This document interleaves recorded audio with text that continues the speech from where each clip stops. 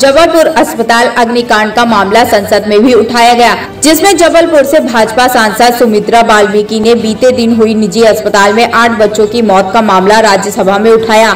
इस दौरान उन्होंने कहा कि तमाम सुरक्षा मापदंडों के बावजूद ऐसी घटनाएँ होती रहती है।